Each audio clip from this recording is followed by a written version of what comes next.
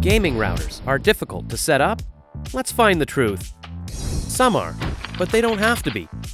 A good router is one that is easy to set up and then completely out of sight with easy access via an app.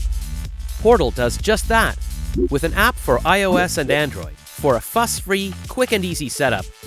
With all the controls and security you need to control your home network. Gaming routers are difficult to set up? Nope.